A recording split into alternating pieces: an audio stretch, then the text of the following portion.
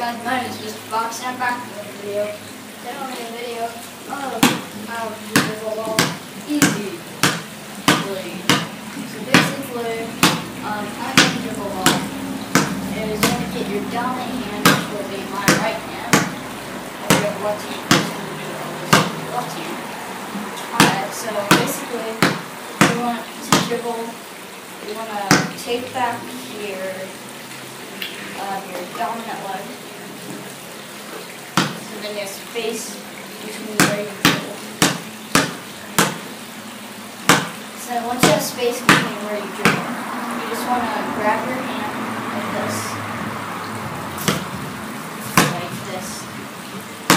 Like so kind of like a like your like you're a bear kind of strapped or something.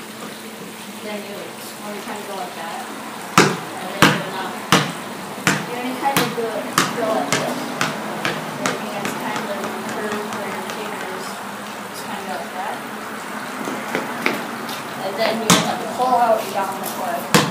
And then you just of push it down, so you have to you catch it up with this. Catch it up with this. And then soon enough, go where you do that. And with your left leg, just going do this. And then, and once you get used to it, you'll be able to walk that side.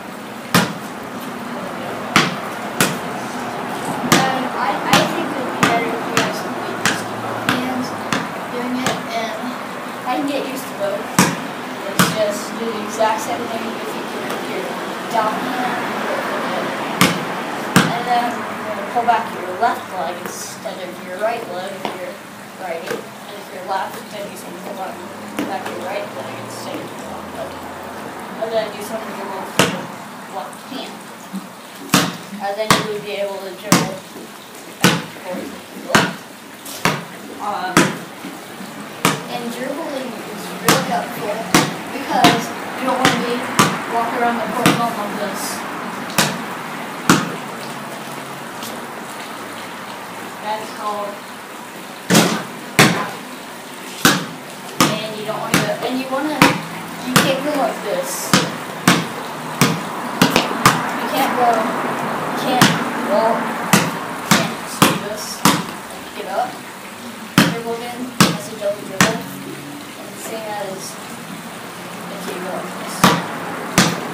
And go like this. Um, but that is a technique of how to dribble basketball, so that wasn't part of it, but um, how to dribble basketball. So I hope you guys have enjoyed. Bye!